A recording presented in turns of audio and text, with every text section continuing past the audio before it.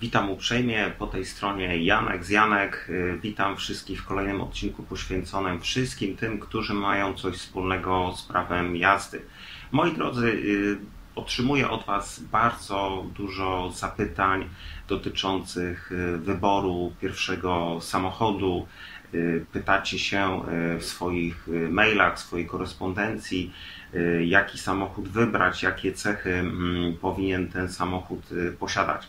No cóż, posłuchajcie, ja nie jestem mm, specjalistą od y, wszystkich y, samochodów, to na pewno.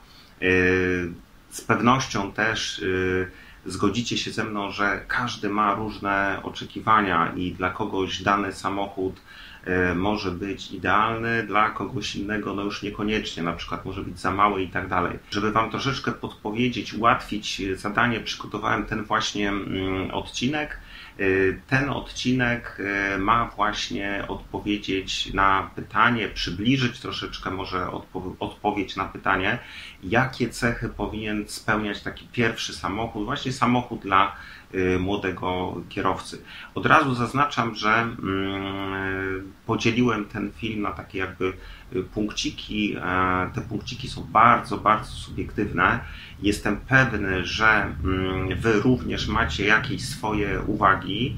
E, no i oczywiście zapraszam Was, żebyście się tymi uwagami podzielili w komentarzach pod filmem, ponieważ te Wasze podpowiedzi mogą się przydać innym widzom, osobom, które chciałyby się czegoś mądrego dowiedzieć przy wyborze pierwszego samochodu, na przykład nie mogą się zdecydować. Więc y, jeżeli e, macie jakieś uwagi, e, jeśli chodzi o wybór pierwszego samochodu, serdecznie zapraszam do y, komentarzy. No a teraz może, może przejdziemy już do, do głównego, głównego tematu. Moi drodzy, taka pierwsza mm, cecha, moim zdaniem pierwsza cecha, która powinna wyróżniać y, ten wymarzony samochód, to ekonomia. Uważam, że samochód powinien być ekonomiczny. Mm, dlaczego uważam, że powinien być ekonomiczny? No, chodzi mi głównie o koszty eksploatacji. Jeżeli e, ktoś e, właśnie zdał egzamin na prawo jazdy, to na pewno czekały go mm, jakieś wydatki z tym związane. No i już choćby poprzez ten fakt e, nie można zakładać, że ma kieszeń pełną pieniędzy. Co mam na myśli, mówiąc o tym, że samochód jest ekonomiczny, ten, który kupujemy? No, ktoś słusznie zauważył, że mm, stary samochód z bardzo dużym przebiegiem to skarbonka bez dna. No i ma rację. Dlatego y, taki podstawowy punkt, jeżeli chodzi o ekonomię mm, użytkowania samochodu, to jego stan techniczny. Ten stan techniczny powinien być na tyle dobry, żeby nie czekały nas jakieś dodatkowe remonty, y, no, które oczywiście mm, kosztują. Na to warto zwrócić uwagę, ale nie tylko. Y, posłuchajcie, y, ważna rzecz związana z zakupem samochodu, związana z jego utrzymaniem, to również opłacenie obowiązkowego ubezpieczenia. Te obowiązkowe ubezpieczenie jest wyliczane innymi na podstawie doświadczenia kierowcy, Czyli na pewno ubezpieczyciel będzie y, pytał się Was od jak długiego czasu posiadacie prawo jazdy, y, ale również y, to wyliczenie tej składki rocznej jest związane z pojemnością samochodu. No i więc tutaj pojawia się taka kolejna mm, uwaga pod kątem ekonomii samochodu, użytkowania samochodu E, które będzie zgodne właśnie z ekonomią, będzie nam się opłacało. Mianowicie ta pojemność, y, przynajmniej w teorii, nie powinna być zbyt duża, abyście nie zapłacili wysokiego ubezpieczenia. No cóż, y, pozostałe kwestie związane ze spalaniem samochodu, no w zasadzie wiążą się z stanem technicznym, mm, chociaż nie tylko. Natomiast warto zwrócić na to, na to uwagę, ile ten pojazd, który kupujemy, będzie mm, spalał. No, jeżeli e, ktoś e, będzie miał fantazję i powiedzmy e, będzie go stać na zakup zabytkowej Syreny albo, albo Warszawy, musi się liczyć z tym, że mm, będzie musiał na to autko niestety więcej troszeczkę wydać, więc no, nie będzie to na pewno y, wybór najbardziej ekonomiczny. Moi drodzy, taka druga cecha, moim zdaniem bardzo ważna cecha pierwszego auta młodego kierowcy, to y, fakt, y, iż te autko powinno no, być adekwatne swoimi rozmiarami do oczekiwań młodego kierowcy. Co mam na myśli? No to jest bardzo proste. Jeżeli ktoś mm, dojeżdża powiedzmy do pracy w pojedynkę, y, no to niekoniecznie musi wybierać auto pięcioosobowe. Natomiast jeżeli dojeżdża do pracy, a w weekendy lubi ze znajomymi wybrać się na mecz albo na piknik, no i wszystkie miejsca w samochodzie są zajęte, no to warto jednak rozejrzeć się za większym mm, samochodem. Dlaczego o tym y, wspominam? Wspominam o tym y, z tego powodu, że mm, bardzo często y, młodzi kierowcy wybierają auto pod takim mm, kątem zachwytu, jednorazowego jakiegoś zakochania się w danym autku. Natomiast niekoniecznie są w stanie pomyśleć tak na zimno, ile osób w tym aucie będzie podróżować warto to mieć na względzie. Y, ogólnie wydaje mi się, że lepiej mieć auto większe niż y, mniejsze, aczkolwiek różnie to bywa. No, ja znam osoby, które na przykład bardzo pewnie czują się tylko w małych y, samochodach, nie chcą w ogóle słyszeć o dużych, no i cóż, no, no tak jest, tak, tak to bywa. Jeszcze taka jedna rzecz, na którą chciałem zwrócić uwagę, mm, szczególnie przy małych samochodach, to fakt, iż y, dany model samochodu może mieć różne wersje, y, które y, w zależności od wyposażenia mogą mieć w dowodzie rejestracyjnym wpisaną liczbę pasażerów jako na przykład 4 albo jako 5. Mm, takim podręcznikowym przykładem samochodu, modelu samochodu, który Mm, spełnia właśnie taką, y, taką cechę, y, jest y, Fiat Seicento. Wyobraźcie sobie, że mm, pierwsze modele tego samochodu, właśnie Fiata Seicento, miały w dowodach rejestracyjnych wpisaną większą liczbę mm, możliwych pasażerów, dozwolonych pasażerów. Natomiast te nowe, nowe wersje, to już są te samochody przechrzczone jako, jako Fiat 600, E, mają liczbę pasażerów, maksymalną liczbę pasażerów ograniczoną do czterech. E, czy to ma znaczenie? Ma to znaczenie na pewno pod tym kątem, że wybierając samochód z tą maksymalną większą liczbą pasażerów, nie ryzykujemy w przyszłości sytuacji, że będziemy ograniczeni do przewożenia właśnie osób na, na raty. Też tak, może, też tak może się zdarzyć. Więc na to, na to myślę warto zwrócić uwagę. Moi drodzy, taka trzecia cecha, y, nie wiem czy nie, nie jedna z najważniejszych, ale to już zaznaczyłem, że to jest taki wybór, wybór bardzo subiektywny. Y, to jest to, żeby to auto mm, młodego kierowcy, pierwsze auto młodego kierowcy, dało się bardzo łatwo y, prowadzić.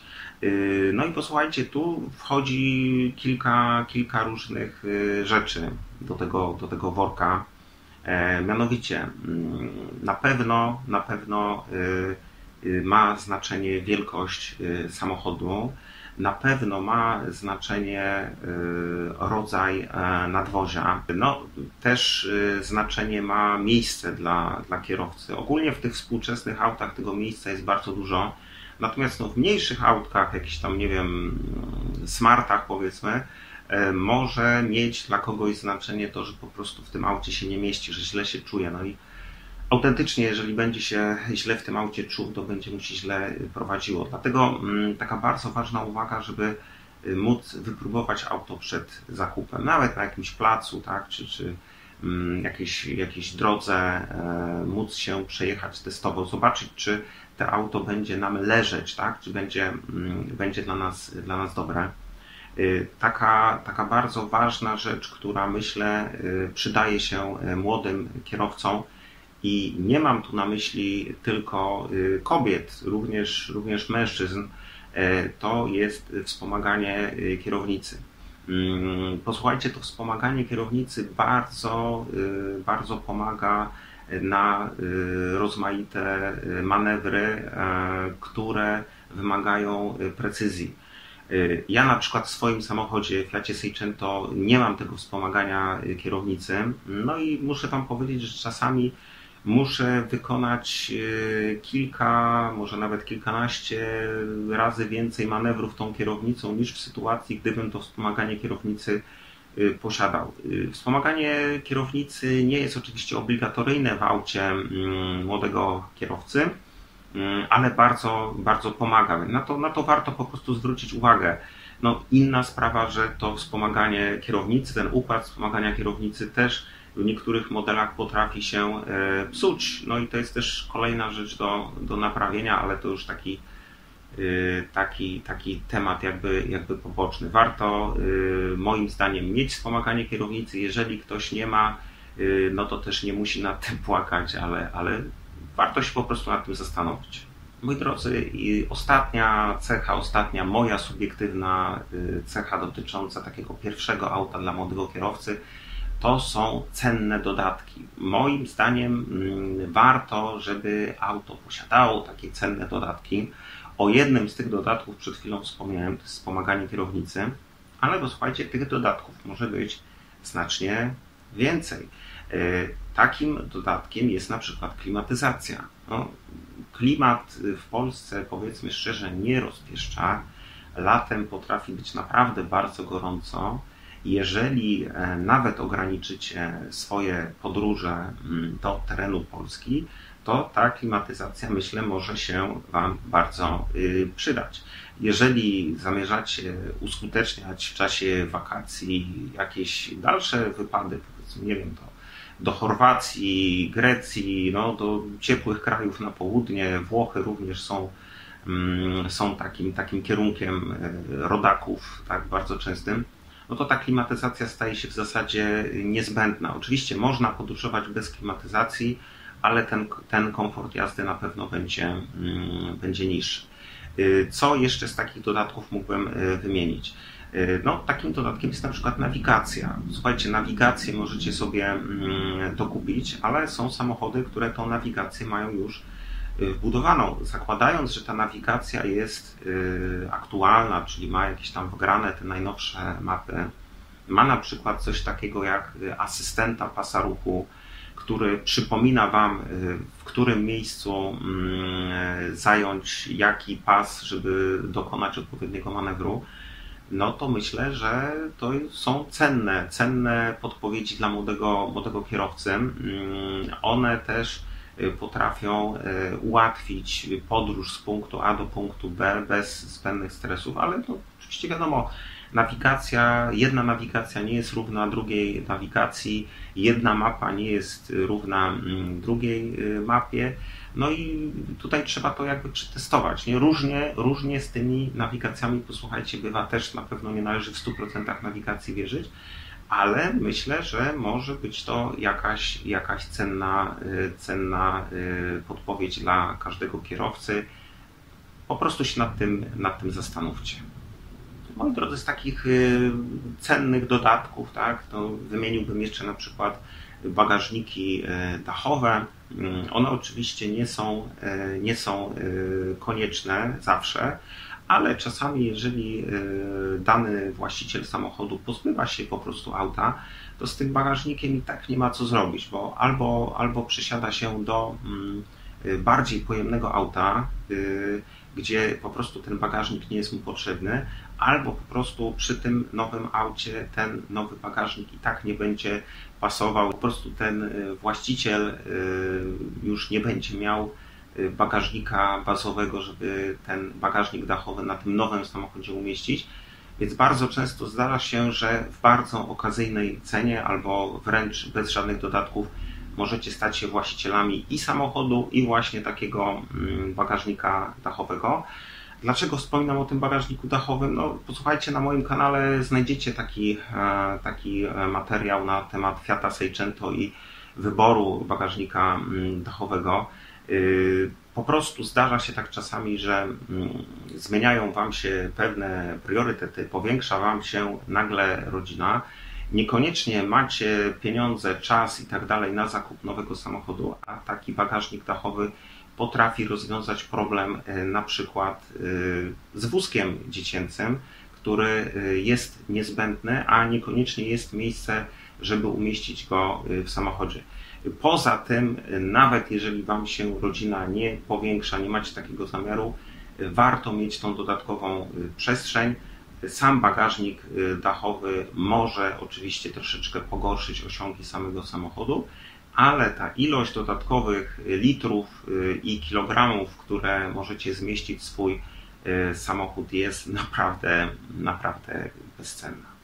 Moi drodzy, y, kończę na tej czwartej podpowiedzi dotyczącej pierwszego samochodu młodego kierowcy.